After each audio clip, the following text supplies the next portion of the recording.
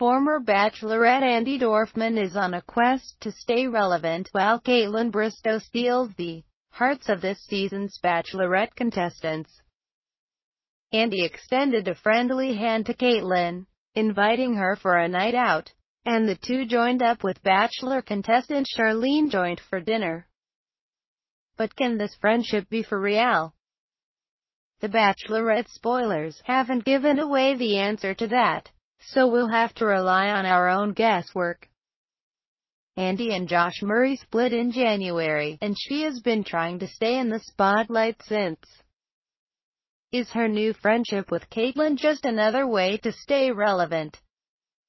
In the picture, the ladies seem to be enjoying themselves. And apparently, they actually have things to talk about.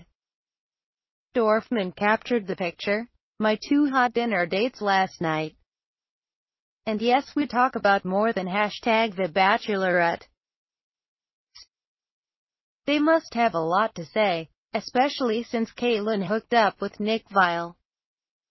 Yes, the same Nick Viall that dated Andi on her season of The Bachelorette. Clearly, it isn't chicks before D. CKS with these ladies. Kaitlyn is down for some dirty though.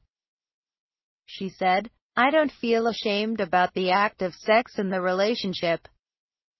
She continued, it's just such a confusing world to live in where it's this gray area of what's right and what's wrong. And when do you sleep with somebody and talk about it? Or do you just wait 10 more days and not talk about it after the fantasy suite? But Dorfman isn't feeling it.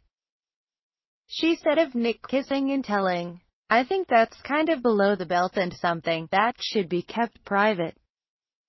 It's hard to believe that Dorfman could go to dinner with Kaitlyn and have a good time knowing that Kaitlyn banged her ex. But that presupposes that these ladies actually fall in love with the contestants.